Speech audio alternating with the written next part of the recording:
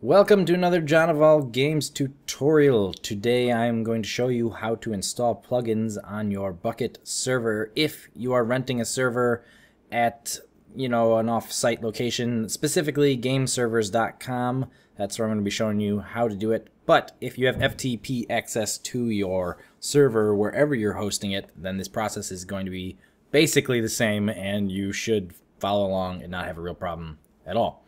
Okay, so go to gameservers.com, log in with your account, go to your member area, click on home, and then info.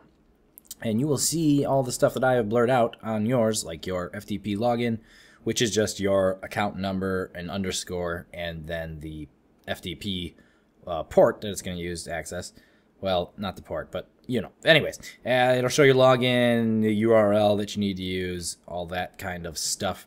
Uh, what you need to get is a program kind of like FileZilla. I'll put a link in the description for that. That's what we're going to be using. What you're going to want to do is, okay, so, okay, all right, first of all, yes, there are some mods, plugins uh, available to one-click install built right into here. But if the one you want is not there, then you have to download it on your own and do this method method to get it in there.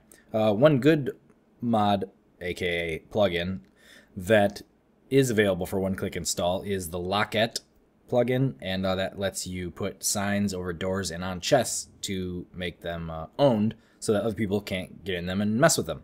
Pretty cool, so you can one-click install that one. But, like I said, if you want a different plugin, you're going to have to do it like this. So, open up your FileZilla if you got that, or other FTP program like it. Uh, right here in the host, you're going to put the address of the server. So that's this right here, the IP on top right here. Take that, put it in there.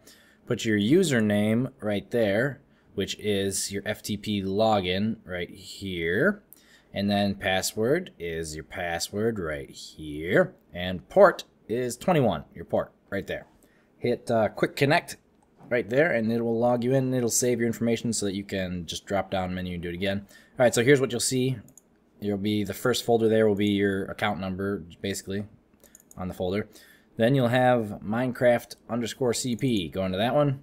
Go into minecraft and then you'll see plugins. And if you don't see plugins for some reason create the folder but it's probably there. Okay so all you have to do you can see some of the plugins I have here like TreeAssist okay? Go download TreeAssist. Pretty cool. You chop the bottom block and the whole tree and the leaves come down and it plants a sapling right in the place where the tree came down. Pretty neat okay? Download that.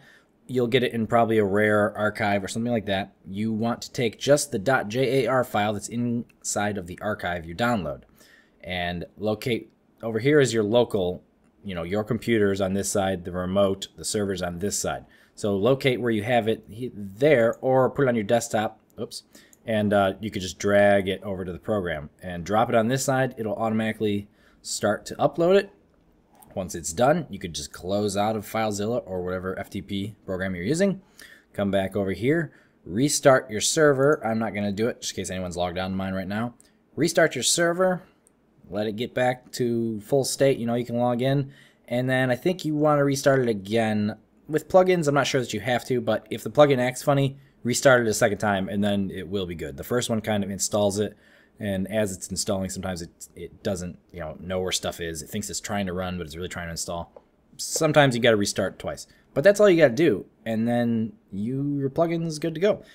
The only other thing you might do is if you need to give yourself permissions for it, like you don't want certain people to be able to do certain things, if it's a powerful plugin, you'll want to go to your web admin right here, open that up, and then in there is permissions and stuff like that. Maybe I'll make a video about using the WebAdmin MC MyAdmin, I believe it's called, control panel. I'll make a video about that most likely if anyone has any questions there because there's quite a lot you can do there. Um, things like turning on the whitelist and because with the FTP server they don't allow you to download see, do they let you download the whitelist? There's something that, okay, they don't let you change the server.properties file, but they do let you download the whitelist, edit it, and re-upload it, I believe. Anyways, there's a lot of functionality in there that you may need to access. But for now, this is how you get some plugins on there that they don't have available right here through this one-click install menu. And uh, yes, Tekkit is at the bottom of this if you want to install Tekkit, but like I've said previously, you need to have a uh, 1024 megabyte, aka 1 gig server to run Tekkit successfully because even when no one's logged in, it's going to be using about 3 to 400 megabytes running Tekkit. Okay, so thanks for watching, and as usual, let me throw up a few links here for you to check out.